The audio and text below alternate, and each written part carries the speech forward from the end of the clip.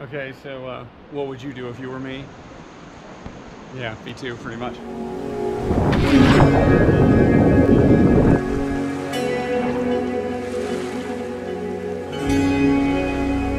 Good job.